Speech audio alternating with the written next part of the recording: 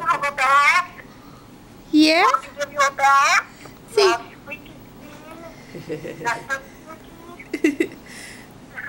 Say, I like my bath when it's my me- hair washed. to give you a hairdo? Yes. Yeah. She doesn't, have much hair on top. Is there in the? Um, no, it's all kind of just a little bit all over. Oh, she's sticking out her tongue out you. Oh, you're out your tongue at Grandma.